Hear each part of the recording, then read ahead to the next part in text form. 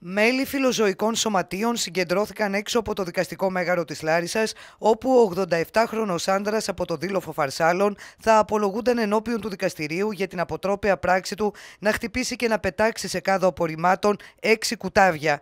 Τα ζωάκια είχαν φέρει μάλιστα στο σπίτι τα εγγόνια του, που ευτυχώς εκείνη την ώρα ήταν στο σχολείο.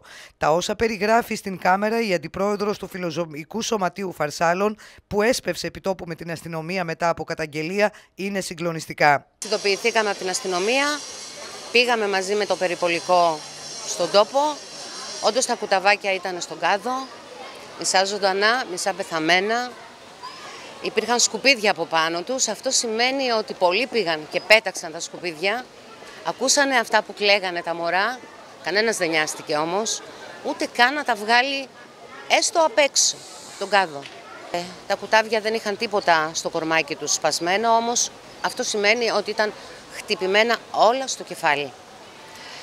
Δυστυχώς τα δύο κατέληξαν και έμεινε μόνο η ζούλα, η ζωή, την οποία φιλοξενώ στο σπίτι μου και θα δοθεί βέβαια προσιοθεσία σε μια πολύ καλή οικογένεια που θα βρούμε. Ο 87χρονος φέρεται να χτύπησε μέχρι θανάτου τα κουτάβια, αφού από τα έξι τελικά επέζησε μόνο το ένα, μετά από προτροπή της γυναίκας του.